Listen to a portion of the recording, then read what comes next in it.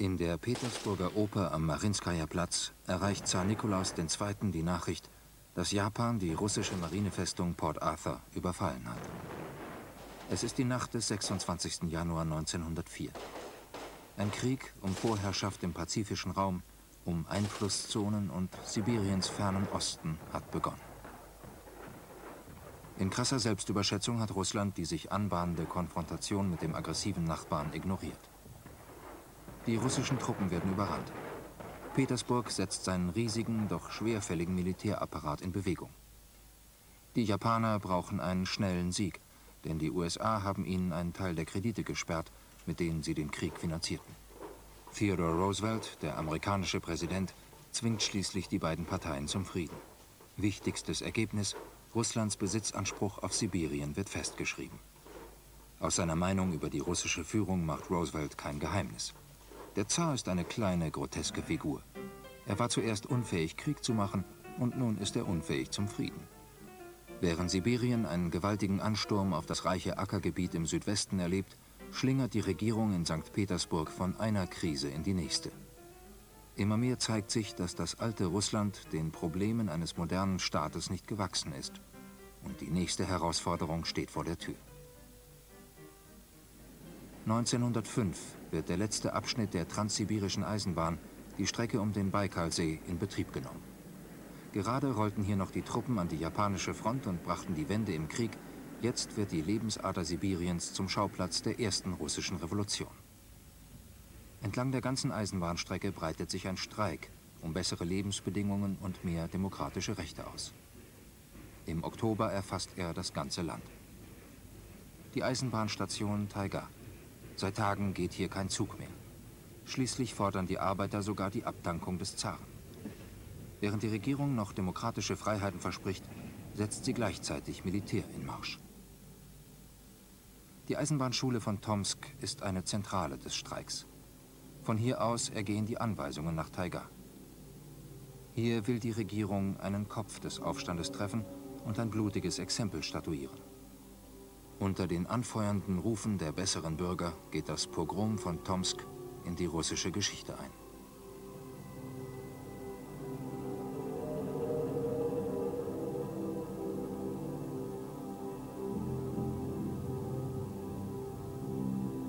Auch im berüchtigten Gefängnis von Tobolsk wird gegen die unmenschlichen Lebensbedingungen revoltiert. Jeder 40. Erwachsene Russlands sitzt zu dieser Zeit hinter Gittern.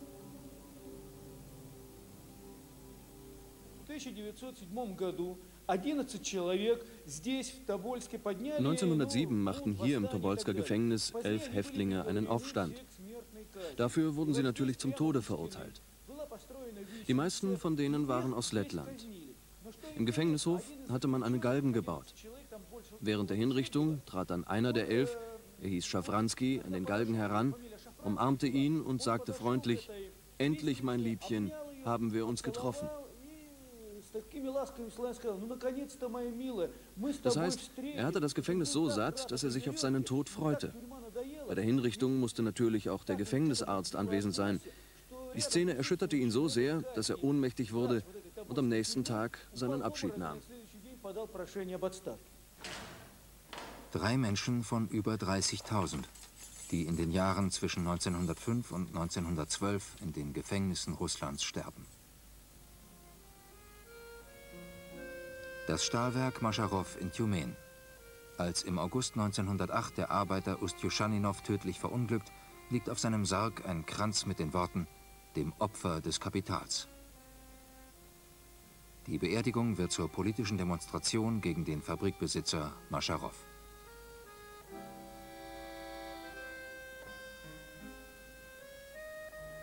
Сам Машаров был из крестьян. Er selbst kam eigentlich aus einer Bauernfamilie. In seiner Familie gab es zuvor keine Industriellen. Aber er war ein echter sibirischer Unternehmer. Es kam natürlich hinzu, dass seine Frau eine große Mitgift in die Ehe brachte. Als 1892 mein Urgroßvater Peter Giljew starb, haben sich die beiden Industriellen vereinigt. Es gab zwar Kupfer- und Roheisengießereien in Sverdlovsk und Umgebung, überhaupt gab es genug Rohstoffe. Doch der Bedarf war ungeheuer groß. Und um mehr produzieren zu können, vereinigten sich die sieben Großbetriebe in Tjumen zu Mascharow und Co.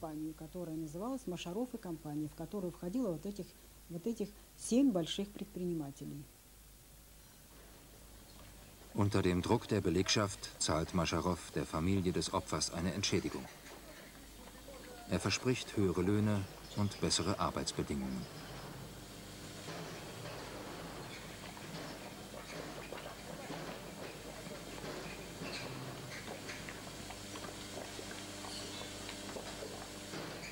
Das Stahlwerk profitiert vom enormen Aufschwung der Wirtschaft seit dem Eisenbahnbau.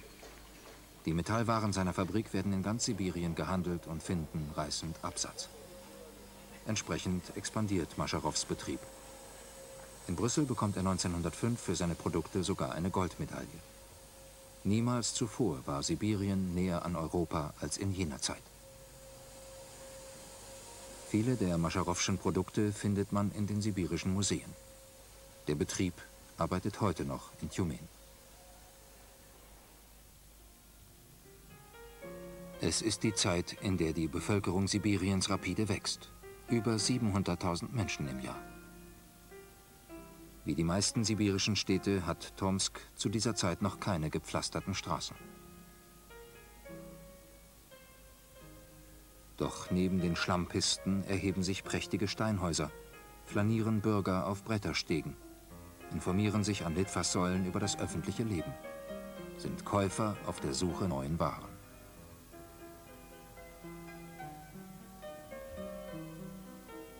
Auf einem Foto präsentiert sich das größte Kaufhaus in Tomsk und mit ihm voller Stolz die bessere Gesellschaft. Es ist ein Bild voller Genugtuung über das, was man erreicht hat.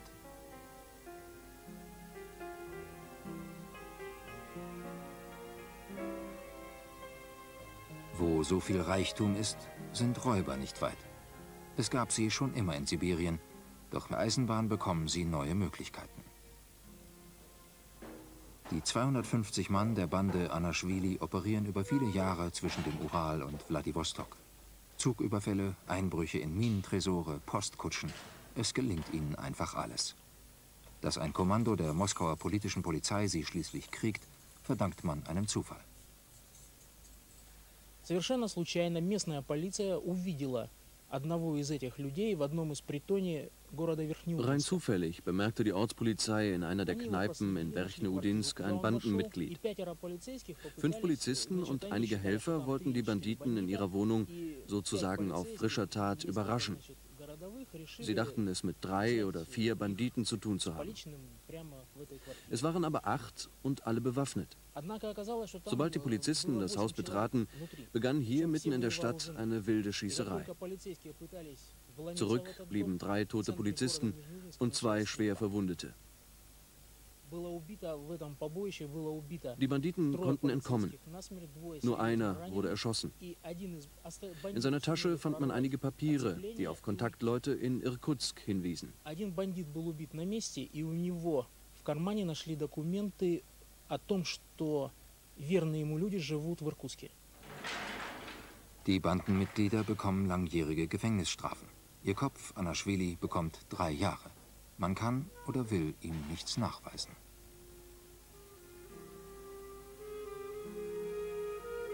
Vielleicht ist einer in dieser honorigen Gesellschaft zumindest der Sohn eines Räubers.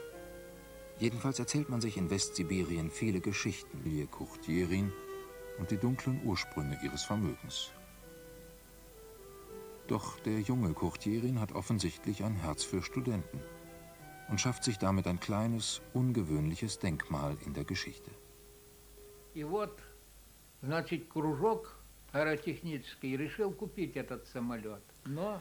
Die Mitglieder des Fliegervereins beschlossen, dieses Flugzeug zu kaufen, aber sie hatten kein Geld. Es kostete immerhin ein paar tausend Rubel.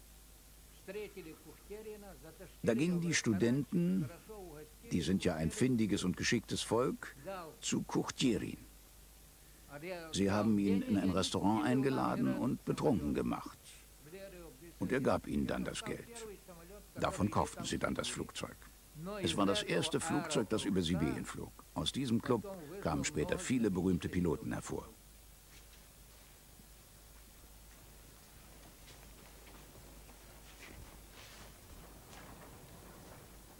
Es ist ein buntes Leben in Sibirien.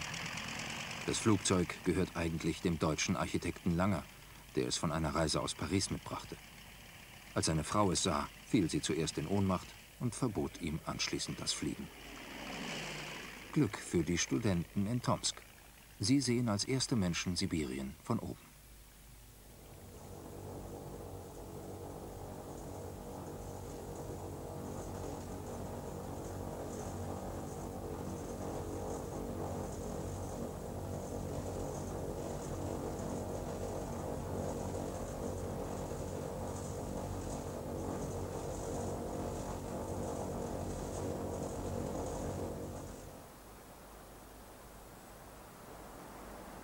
Die Welt weiß wenig über das weite Land, doch Sibirien hat sich mit einem Donnerschlag in das Bewusstsein der Metropolen gebracht.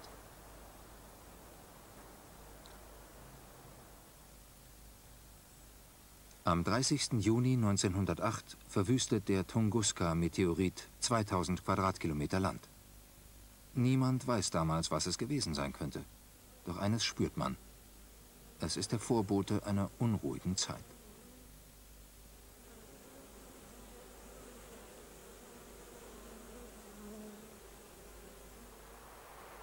In Sibirien werden immer mehr Goldvorkommen entdeckt. Besonders ergiebig sind die Minen an der Lena. Eigentümer der Minen ist Len Solotor. Hinter der Firma stecken reiche Petersburger Geschäftsleute, die Zarenfamilie und englisches Kapital.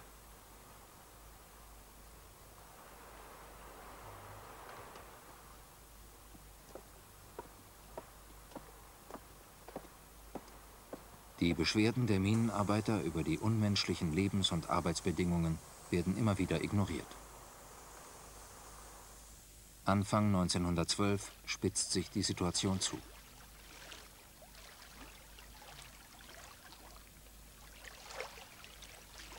Als es im Februar zum Streik kommt, lässt der Hauptmann Treschenko das Feuer auf die demonstrierenden Arbeiter eröffnen. Zurück bleiben 250 Tote. Das Massaker lässt Russland fortan nicht mehr zur Ruhe kommen. Mit dem Ersten Weltkrieg bekommt das zaristische System im ersten patriotischen Taumel noch einmal etwas Luft. Russlands und auch Sibiriens Regimenter marschieren nach Westen. Doch die soziale Situation im Land, besonders in den Städten des europäischen Russlands, verschärft sich immer mehr. Einhellig ist die politische Klasse für die Abschaffung der Monarchie. Von dem danach und wohin sind die Vorstellungen eher vage doch nicht bei den Bolschewiki unter ihrem gerade aus dem Exil zurückgekehrten Führer Lenin. Sie bekommen bei den Wahlen im November 1917 zwar gerade einmal 10 Prozent der Stimmen, aber sie wollen die Macht. Sie wollen eine radikale Revolution.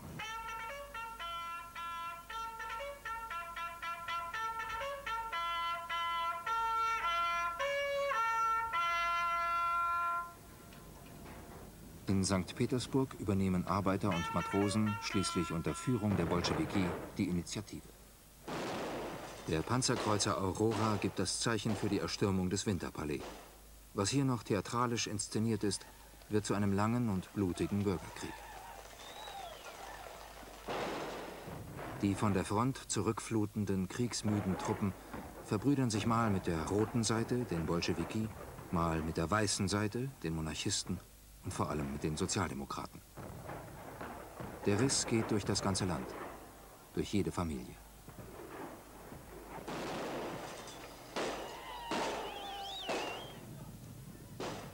Nach Sibirien kommt die Revolution langsam. Der überwiegende Teil der Bevölkerung sind Bauern und Kosaken. Viele davon leben in der Tradition ihrer Vorfahren für Zar und Vaterland.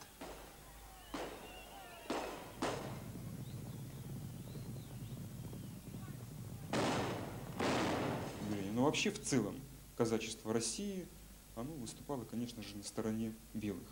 Почему? Im Großen und Ganzen waren die Kosaken auf der weißen Seite. Warum?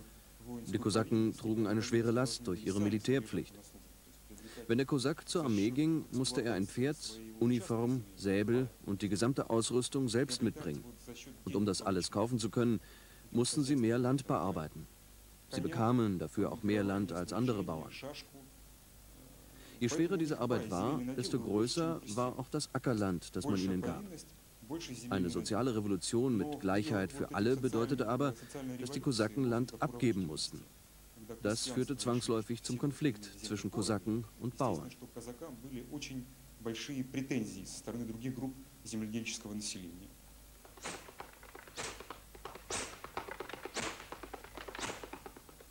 Im Bürgerkrieg spielen die wendigen und schnellen Kosakeneinheiten eine wichtige Rolle.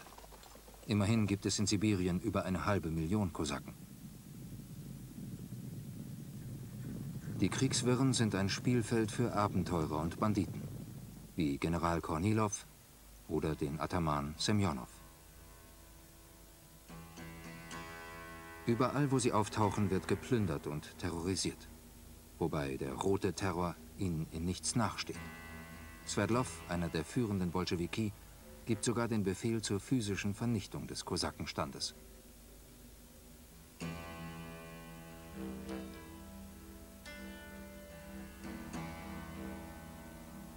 Russland ist außer Kontrolle. Millionen sind auf der Flucht. Sibirien ist auseinandergebrochen. Allein 18 Regierungen zählt das weite Land. Darunter treten auch einige für die Unabhängigkeit von Russland ein.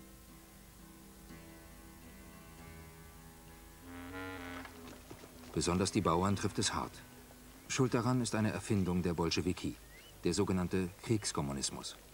Seit April 1918 ziehen spezielle Greiftrupps durch die Dörfer, auf der Suche nach Lebensmitteln für die hungernden Städte. Sibirien muss beide Kriegsparteien versorgen.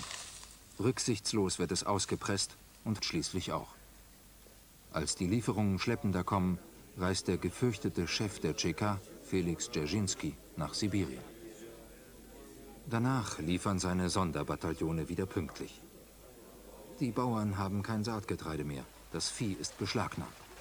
Voller Wut zünden sie ihre Felder an, werden zu Banditen. So haben sie sich die neue Macht nicht vorgestellt. Die Menschen Sibiriens machen im ständigen Hin und Her der radikal auf Machterhalt orientierten Politik Erfahrungen, die sie die nächsten Jahrzehnte nicht mehr vergessen werden. Sie sind zum Spielball geworden. Das Land, worauf sie stehen und bearbeiten, von dem sie leben, gehört ihnen nicht mehr. Was heute noch richtig ist, kann morgen schon tödlich sein.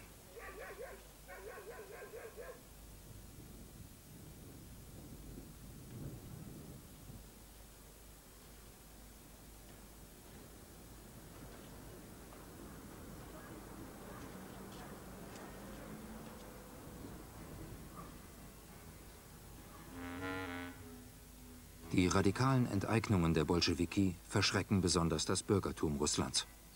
In der Folge bricht die Produktion immer mehr zusammen. Vor der allgemeinen Anarchie flüchten viele ins Ausland. Auch der Fabrikbesitzer Mascharow verlässt in jenen Wochen sein Werk in Tjumen. In den Wirren dieser Zeit verliert sich seine Spur.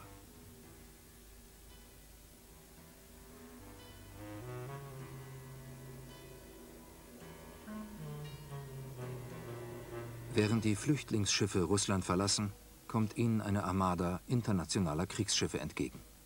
Im März 1918 landen britische und französische Interventionstruppen in Murmansk. Am 5. April die Japaner in Wladiwostok.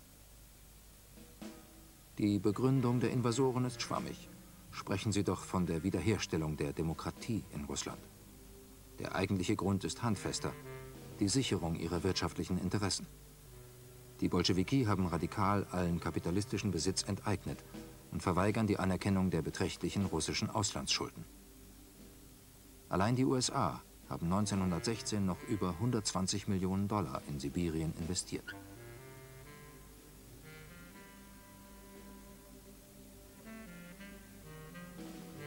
Es ist eine nie zuvor dagewesene Einigkeit in der Besetzung eines Landes.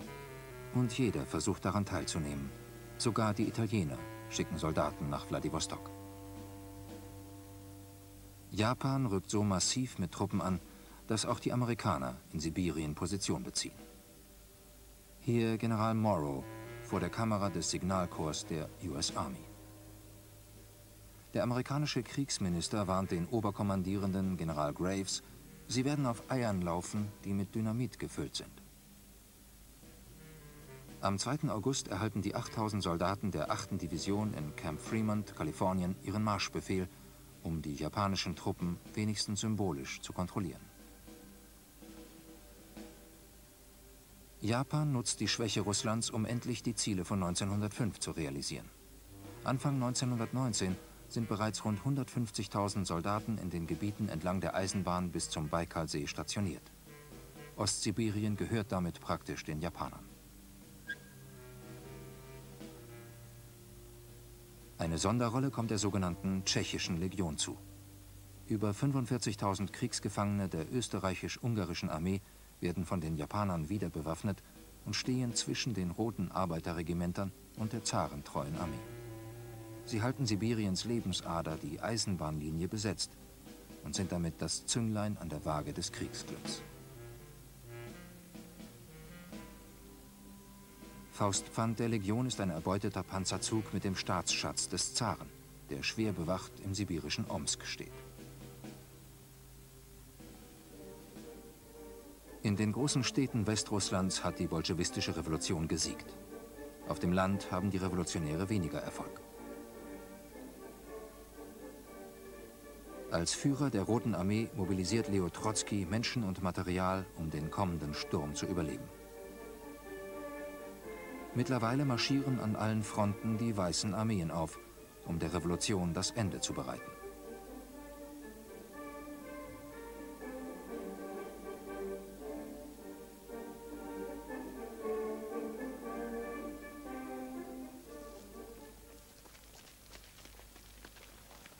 Zar Nikolaus II. hat bereits vor der Revolution im März zugunsten seines Bruders Michael verzichtet. Doch auch dieser will nicht auf den Thron. Die Monarchie hat damit abgedankt. Sie hat sich davongeschlichen. Nach der Machtergreifung durch die Bolschewisten wird die Zarenfamilie verhaftet und nach Tobolsk in die alte Hauptstadt Sibiriens gebracht. Von dort geht es später nach Jekaterinenburg am Ural.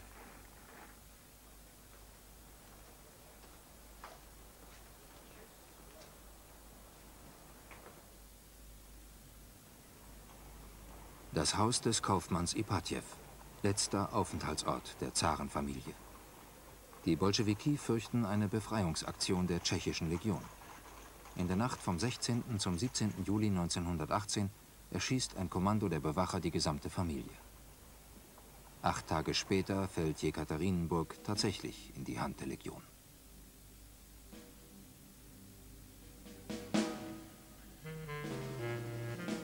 Im November 1918 erklärt Admiral Koltschak sich zum Reichsverweser Russlands.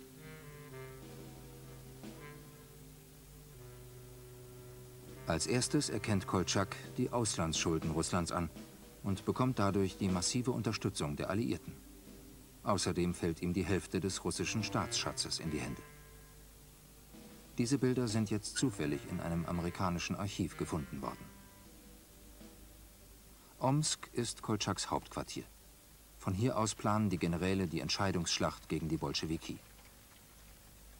Auf einer Breite von 2000 Kilometern stehen rund 400.000 Soldaten zum Sturm bereit. Im März 1919 gehen sie zum Angriff über und erreichen innerhalb eines Monats die Wolga. Die Rote Armee mobilisiert alle Kräfte und formiert sich unter dem Oberkommando von Frunse. Als sie Ende April losschlagen, marschieren die revolutionären Truppen von Sieg zu Sieg. Fast zu einfach. Doch Koltschaks Regime hat sich als unfähig zur Lösung der Probleme des Landes gezeigt. Der Terror seiner Vasallen hat viele zum Feind gemacht. Russland ist kriegsmüde. Im November ist die militärische Niederlage Koltschaks komplett. Omsk und mit ihm sein Hauptquartier fallen ohne große Kämpfe an die Rote Armee. Koltschak ist orientierungslos, begibt sich zur tschechischen Legion. Genau in diesem Moment wird er wieder zur Marionette in einem neuen Spiel. Die Soldaten der Legion wollen nach Hause. Noch hat sie den größten Teil des Zarenschatzes als Pfand für die Reise. Der französische General Jamin nimmt im Auftrag der Legion Verhandlungen mit den Bolschewiki in Irkutsk auf. Freier Abzug der Tschechen gegen das Gold. Auch Koltschak gehört mit in die Verhandlungsmasse als Transitpassagier. Die Gelegenheit ist günstig, den ehemals so willkommenen Admiral loszuwerden.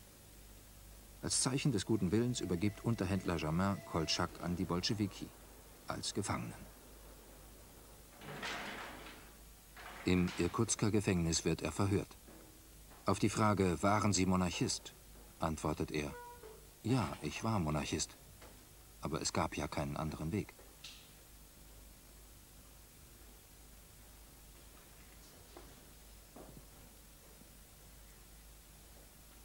In den Morgenstunden des 7. Februar 1920 wird Koltschak erschossen und in die Angara geworfen.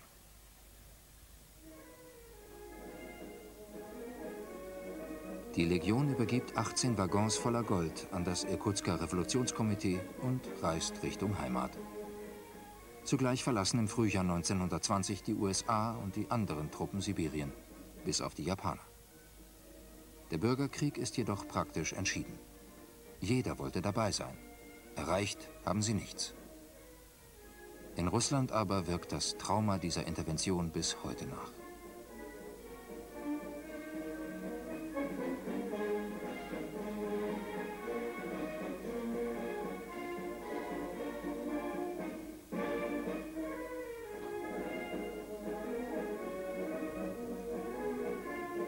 Ein Ergebnis der Intervention ist allerdings auch klar.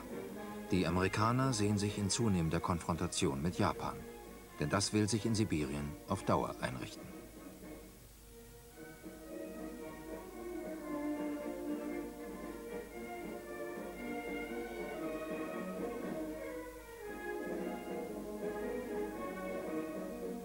Hatten die Japaner mit Hilfe der hochgerüsteten tschechischen Legion anfangs die transsibirische Eisenbahn besetzt, so übernehmen sie jetzt selbst das Kommando entlang der Transsib.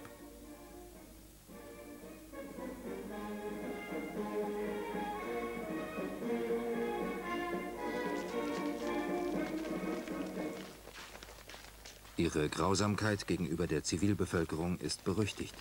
Und als bei einem Aufstand in Nikolajewsk die Garnison niedergemacht wird, erschießen sie zur Abschreckung ein paar hundert Menschen und besetzen Nordsachalin.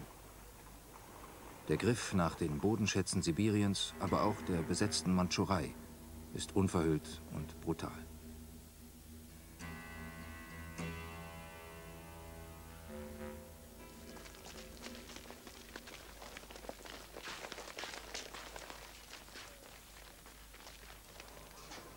Für die Sowjetregierung unter Führung Lenins ist die japanische Frage ein großes Problem. Im Westen befindet sie sich im Krieg mit Polen. Noch einen Krieg, den gegen Japan, kann sie sich nicht leisten.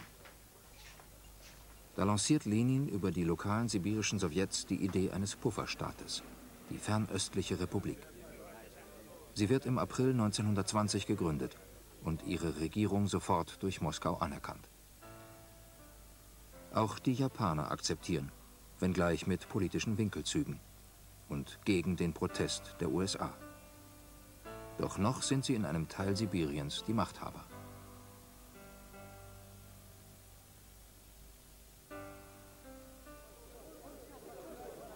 Gleichzeitig lässt Lenin eine revolutionäre Volksarmee zur Eroberung der verlorenen Gebiete gründen, denn faktisch beschränkt sich die neue Republik nur auf das Baikalgebiet. Die sibirischen Partisanen beginnen einen hartnäckigen Kampf gegen die Japaner. Einer der legendären Führer ist der Anarchist Karandaschwili. Ein Begleiter berichtet über einen scheinbar aussichtslosen Kampf. In diesem Moment erschien hinter dem Wall die Figur von Karandaschwili. Mit dem entblößten Säbel stürzte sich der furchtlose Kommandeur dem Feind entgegen. Und die Partisanen gingen zum Sturm über. Der Widerstand der Japaner brach zusammen.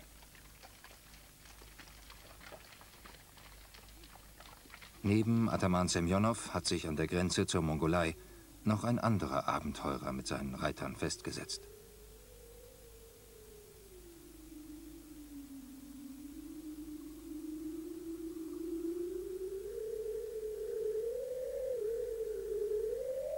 Wie zu Zeiten Genghis Khans zieht Baron von Ungarn-Sternberg plündernd mit mongolischen Reitern und einer Kosakeneinheit in der Steppe der Mongolei und Burjatiens herum.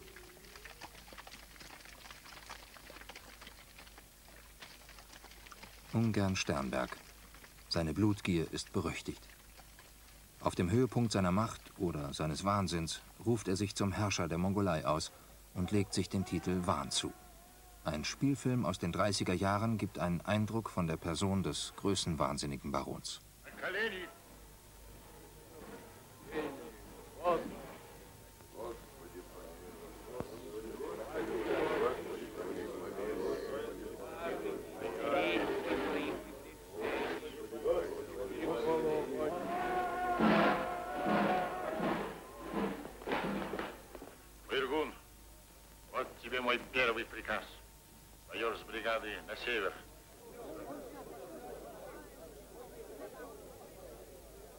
Angriff auf die Handelsstadt Kjachta wird er von der Kavalleriebrigade des Generals Rokossowski gefangen, kurz darauf zum Tode verurteilt und erschossen.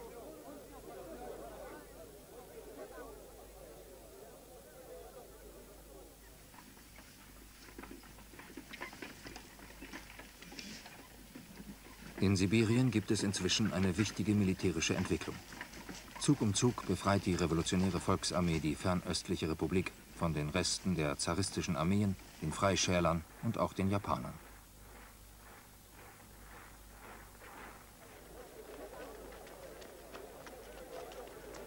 Im Februar 1922 wird nach heftigen Kämpfen Chabarowsk befreit. Die Volksarmee steht unter dem Kommando von Wassili Blücher, einem äußerst erfolgreichen und populären General.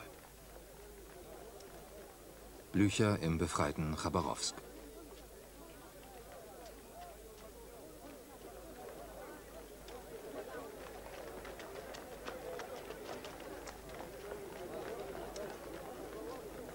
Die Japaner und ihre Verbündeten müssen eine Niederlage nach der anderen einstecken. Auf der Marinekonferenz in Washington verzichtet schließlich Japan, auch unter Druck der USA, erneut auf alle Gebietsansprüche in Sibirien. Das Gleichgewicht im fernen Osten ist vorerst wiederhergestellt. Kurz nach der Befreiung von Wladiwostok verkündet die fernöstliche Republik ihren Anschluss an die Sowjetunion als untrennbarer Bestandteil.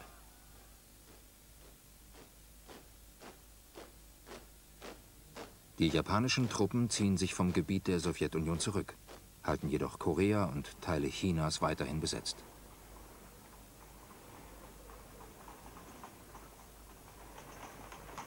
Der begehrliche Blick auf Sibirien bleibt.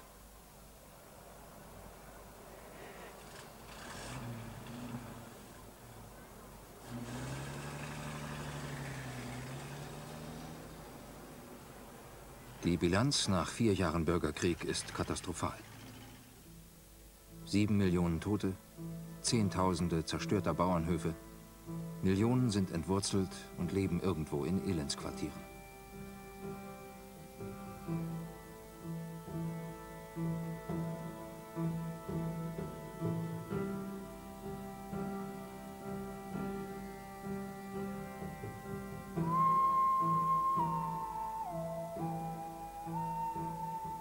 Industrieproduktion ist fast zum Stillstand gekommen. Das rohstoffreichste Land der Welt kann seinen Bedarf an Eisen und Stahl gerade noch zu 6 Prozent decken. Die landwirtschaftliche Produktion schafft nicht einmal mehr ein Minimum. Das Land hungert.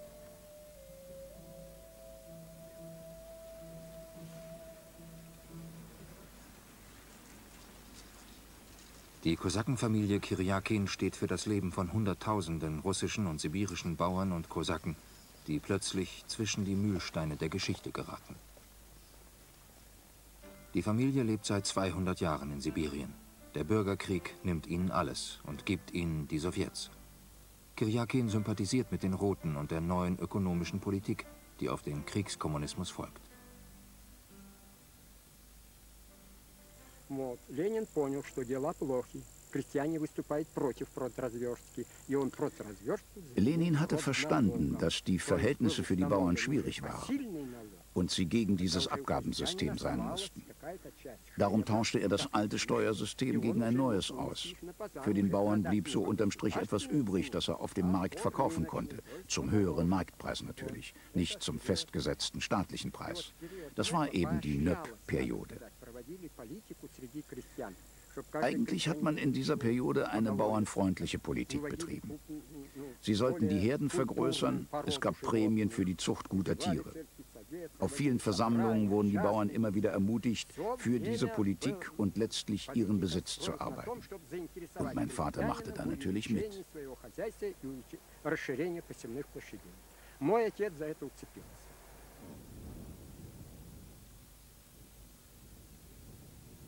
Mit der Verkündung der NÖP, der neuen ökonomischen Politik, lässt man den sibirischen Bauern zwar relativ freie Hand, doch gleichzeitig belastet man sie mit drastischen Abgaben, die doppelt so hoch sind wie im westlichen Teil der Sowjetunion.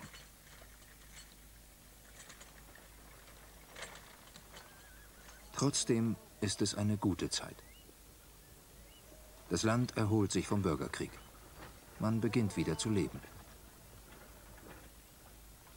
Es lohnt sich wieder zu arbeiten.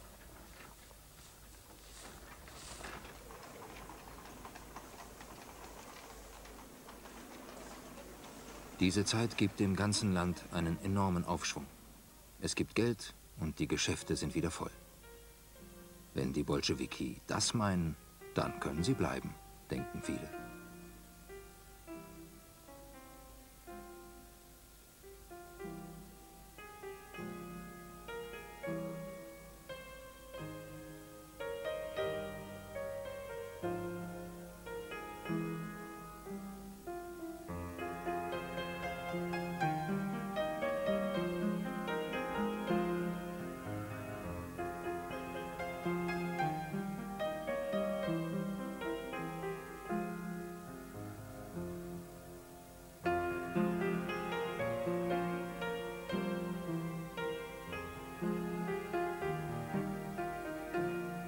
Lenins Idee einer neuen Gesellschaft mobilisiert immer mehr das Land.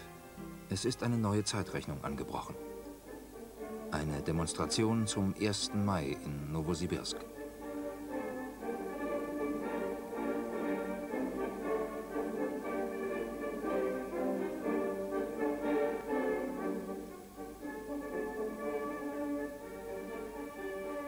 Der amerikanische Schriftsteller Lincoln Stephens schreibt nach einem Besuch voller Enthusiasmus, ich habe die Zukunft gesehen und sie funktioniert. Längst sind nicht alle Probleme gelöst, weder die politischen noch die wirtschaftlichen. Novosibirsk damals und heute.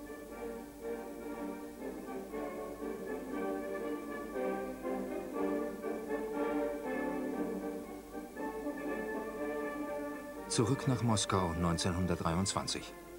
Dort ist der Kampf um die Nachfolge des schwerkranken Lenin ausgebrochen.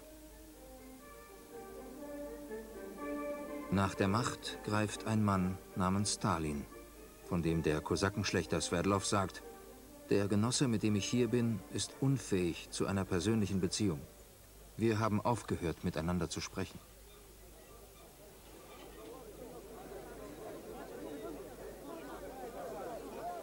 Am 21. Januar 1924 wird Lenins Sarg durch Moskau getragen.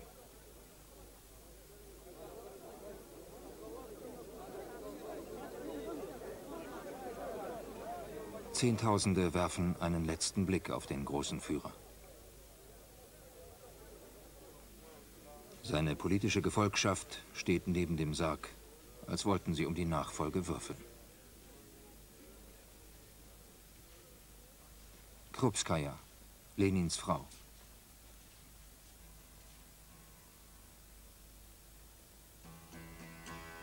Felix Dzerzhinsky. Neben dem Sarg Josef Stalin, der Generalsekretär der Kommunistischen Partei und zukünftige starke Mann der Sowjetunion. Er kennt Sibirien aus der Zeit der Verbannung und Untergrundarbeit, als er noch als Bankräuber für die Parteikasse unterwegs war.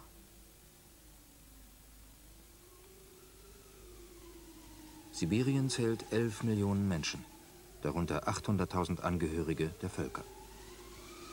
Eines der ersten politischen Programme Lenins war im November 1917 die Deklaration über die Rechte der Völker Russlands. Darin wird ihnen das Recht auf Selbstbestimmung und selbstständige Staatenbildung zugestanden. Natürlich unter der Führung Moskaus.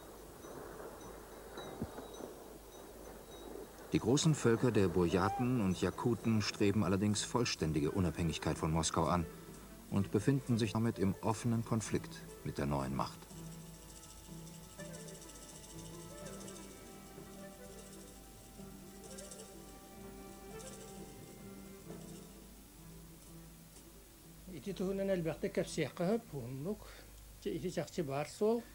Gleich nach der Revolution im Jahr 1918 begann man die jakutische Intelligenz zu verfolgen. Endlich war der Zar weg und die Jakuten glaubten, dass sie nach der Revolution Freiheit und Gleichberechtigung bekommen. Doch es gab keine Freiheit. Es kam der Kriegskommunismus. Die Jakuten begannen zu begreifen, dass die Freiheit nicht kommen wird und fingen an, Widerstand zu leisten. In der Revolution von 1905 hatten sie ja schon gelernt, dass man der Unterdrückung widerstehen kann, indem man sich zusammenschließt und organisiert. Jetzt kamen die Russen und die jakutische Intelligenz widersetzte sich. Sie begann Politik zu machen, zum Beispiel den Unterricht in der Muttersprache. Man wollte die jakutische Sprache zur Staatssprache der Verwaltung machen. Das wurde aber als antirussischer Nationalismus verfolgt.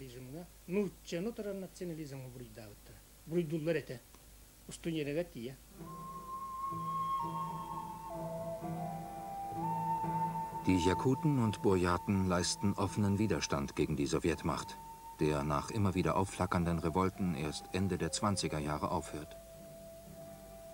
Um den Völkern die kommunistische Idee nahezubringen, ziehen junge Komsomolzen wie die Mönche zur Zeit der Christianisierung in die Wildnis.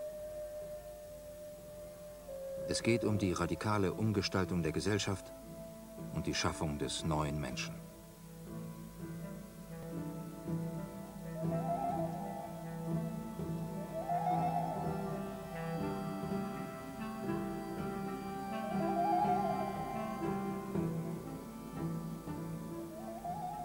Das sogenannte Nordkomitee arbeitet seit 1924.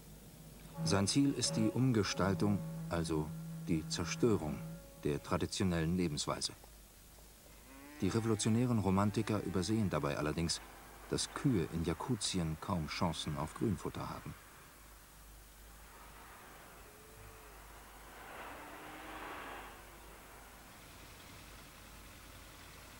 Es sind Propagandabilder. Doch so oder so ähnlich werden die Bauern auf die ersten Traktoren gesehen haben.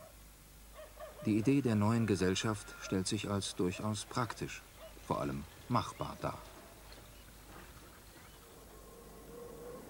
Novosibirsk meldet nach Moskau sogar den Bau eines sowjetischen Butterbetriebes.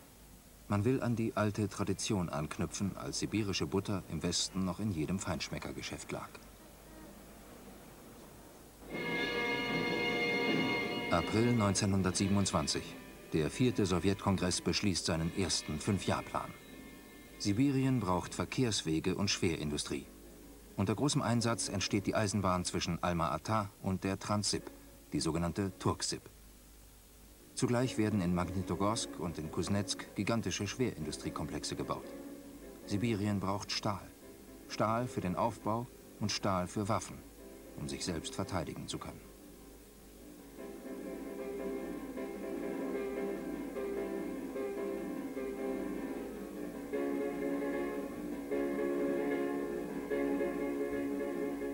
Moskau fordert Stalin eine Steigerung des Industrialisierungstempos durch Einsatz von Technik und Spezialisten. Er verlangt ein den Bolschewiki eigenes Tempo.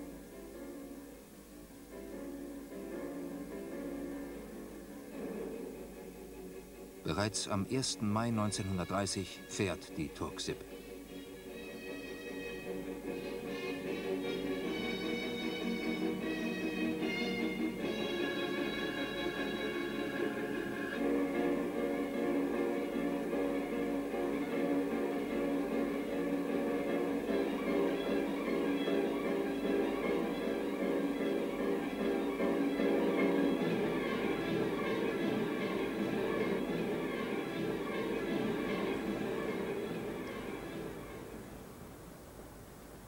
Juni 29 wird das Stahlkombinat Kuznetsk gegründet.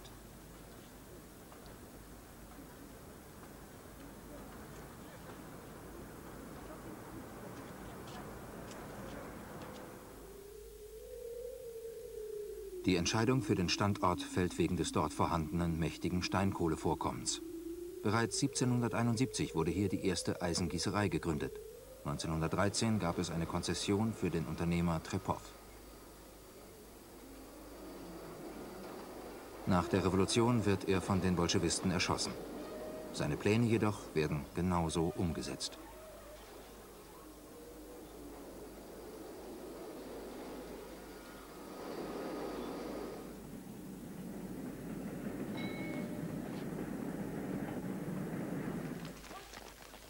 Die Menschen werden wie magnetisch von den Riesenbaustellen der Stahlwerke nach Sibirien gezogen. Hat die Verbannung der Zarenzeit immer wieder Zehntausende Menschen nach Sibirien gebracht, so fehlt noch Hunderttausende für ein blühendes Land. Die Industriekampagne der Kommunisten schafft jetzt einen Anfang. 1930 wird Magnitogorsk gegründet. Sieben Jahre später werden hier bereits in vier Hochöfen über zwei Millionen Tonnen Eisenerz geschmolzen. Mit 40.000 Mann Belegschaft ist es das größte Stahlwerk der Welt. Ein Jahr später kommt Voroshilov, der Oberkommandierende der Armee. Sibirien wird sich bald selbst verteidigen können, mit eigenen Waffen und eigenen Soldaten.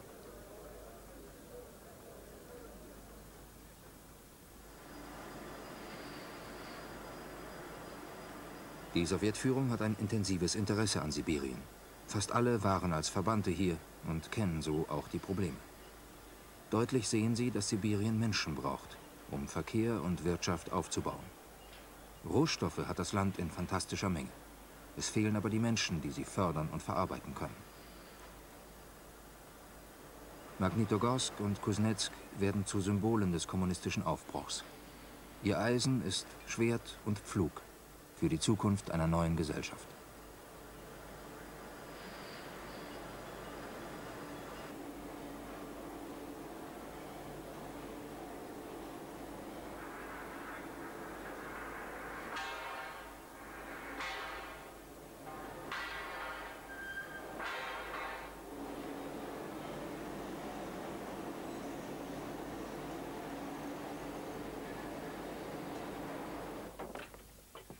Der Amur.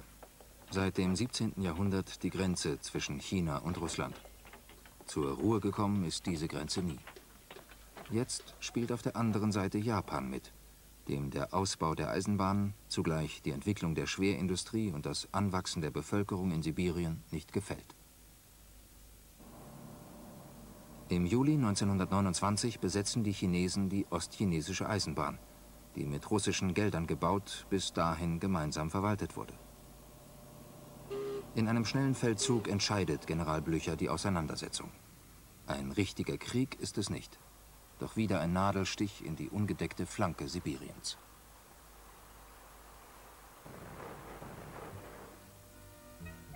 ...1928 gibt Moskau das Gebiet von Birobidschan für die jüdische Kolonisation frei. Zwischen 1928 und 1938 siedeln über 43.000 Juden in der Region. Gedacht ist sie zum einen als Heimat für die russischen Juden, fernab der politischen und kulturellen Zentren, zum anderen auch als Schutz der langen Amurgrenze zu China. Ein Judenstaat als Pufferzone. In Moskau spekuliert man auch auf die Unterstützung der westlichen Intelligenz und die Anerkennung der Sowjetunion durch die USA. Als 1934 die jüdische Autonome Republik gegründet wird, kommen Einwanderer aus den USA, aus Litauen, Südamerika, sogar aus Palästina.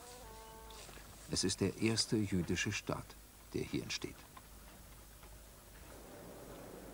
Von den Einwanderern wird allerdings keiner die stalinschen Säuberungen der 30er Jahre überleben.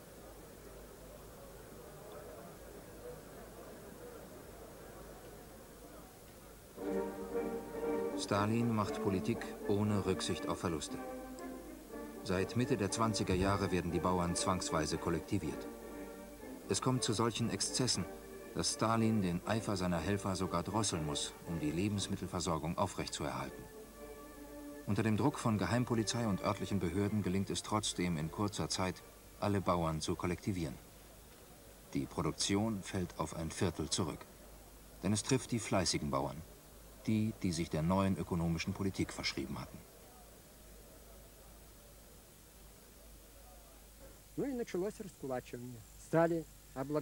Die Enteignung ging so vor sich. Man zwang die Bauern, höhere Steuern zu zahlen. Das hieß, noch größere Mengen abzuliefern. Der Bauer lieferte. Dann sagte man einfach, er soll noch mehr abliefern. Das war natürlich schwer. Demjenigen, der dann diese zusätzliche Steuer nicht abliefern konnte oder sich weigerte, den machte man einfach dafür verantwortlich, dass die Brotfabrik nicht richtig arbeiten konnte. Und er wurde als Kulak bezeichnet. Auch meinem Vater erging es so. Er erfüllte seine Pflicht in der vorgegebenen Zeit, sein Foto war sogar als Vorbild auf der Wandtafel. Doch zusätzliche Steuern konnte er nicht liefern. Darum entzogen sie ihm als erstes das Wahlrecht. Die radikale Umgestaltung der Gesellschaft macht auch vor den sibirischen Völkern nicht Halt. Für die seit Menschengedenken in Familienclans zusammenlebenden Nomaden ist die Vorstellung, plötzlich ohne die eigene Herde zu leben und unter fremder Kontrolle in Kolchosen zu arbeiten, ein Bruch in ihrer Welt. Die Weite der Taiga und Tundra gibt ihnen aber auch die Möglichkeit, auszuweichen.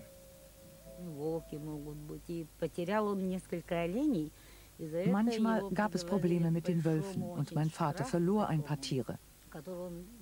Er bekam dafür eine hohe Strafe, die er nicht bezahlen konnte. Dann nahm er seine Rentiere und ging weg. Er ging einfach in die Taiga, flüchtete. Na, dann lebten wir so, ohne zu einer Kolchose zu gehören. Wir lebten in einer Goldgräbersiedlung zusammen mit den Russen. Vater ging zur Jagd und wir hatten unsere eigenen Rentiere. Die meisten Ewenken wurden kollektiviert. Man zwang sie, den Kolchosen beizutreten und dann wohnten sie irgendwo zusammen. Es gab aber auch viele Ewenken, die so lebten wie unsere Familie.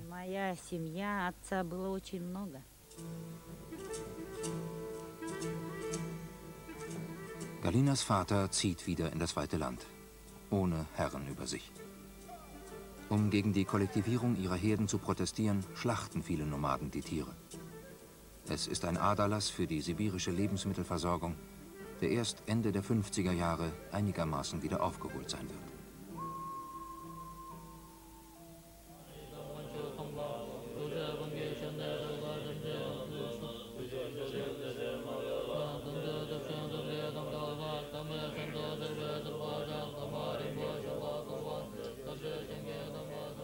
Russland hat viele Völker, Kulturen und viele Religionen. Gerade die Religion ist für die Kommunisten, wie sie sagen, Opium für das Volk.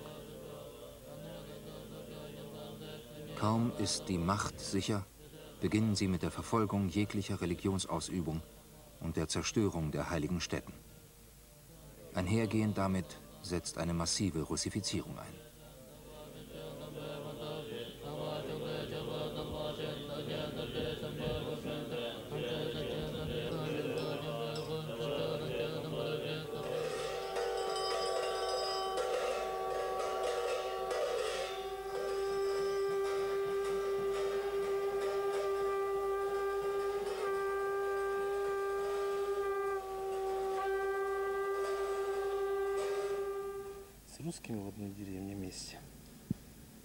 Ich bin zusammen mit den Russen im Dorf aufgewachsen und da war niemals ein Problem. Alle meine Freunde waren Russen. Wir saßen gemeinsam auf der Schulbank, man hat sich sogar verliebt. Wir lebten einfach gut zusammen. Die Russifizierung fing dann in den 20er, 30er Jahren an. 1928 hatten wir noch unsere alte burjatische Schrift, die von oben nach unten geschrieben wurde. Danach ist dann unsere Schrift abgeschafft worden.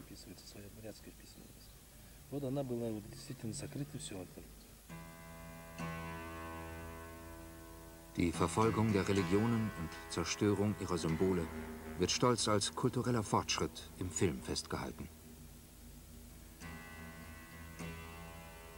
Innerhalb weniger Jahre versucht man so etwas zu zerstören, was über Jahrhunderte tief in den Menschen verwurzelt ist.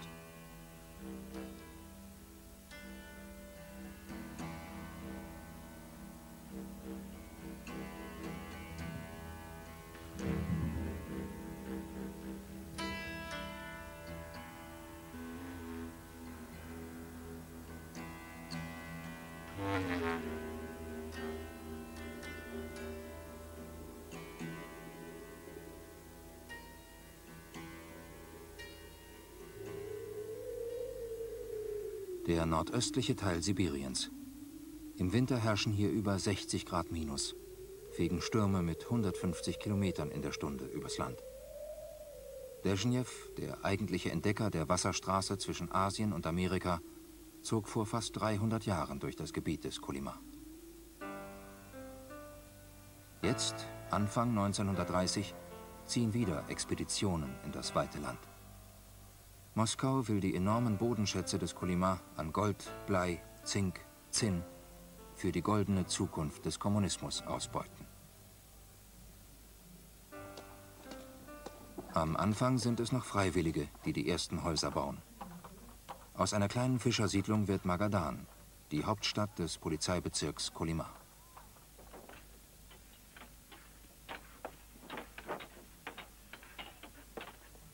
Es ist der Beginn des Archipel Gulag.